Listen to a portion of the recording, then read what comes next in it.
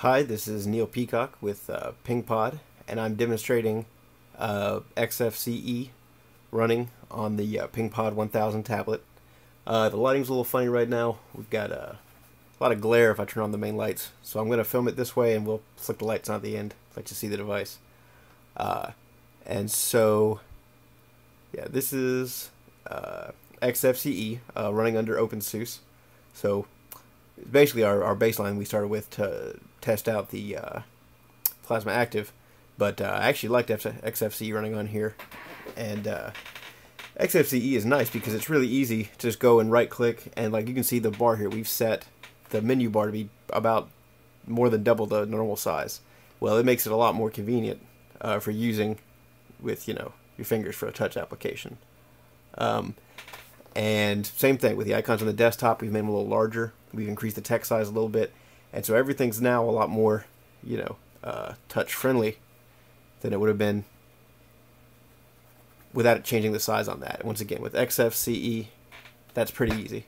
So just wanted to show that a little bit. Uh, let's see. And so, uh, but yeah, so it's got the full uh, desktop access to all the normal, you know, GNU Linux apps that you like to use on your PC or laptop. We got GIMP running in there to show it's a little difficult to mess around with with your finger, but uh, it is there. Um, let's see. I'll show you the menu here. And so it's not too hard to navigate now.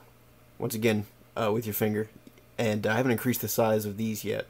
Uh, but, uh, but yeah.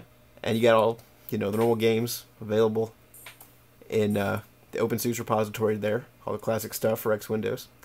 And so this is just a little bit of what you can do with uh,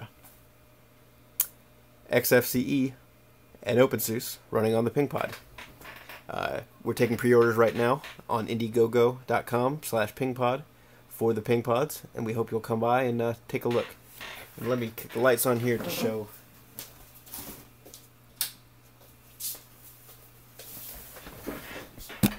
Uh, I don't know, maybe you can see the device a little better. But the glare's not so bad now, huh? So anyway, that's our devices. Thanks for taking a look.